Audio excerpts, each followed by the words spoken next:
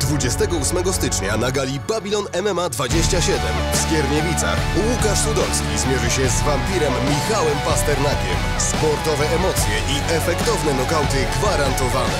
28 stycznia oglądaj na żywo na kanałach sportowych telewizji Polsat.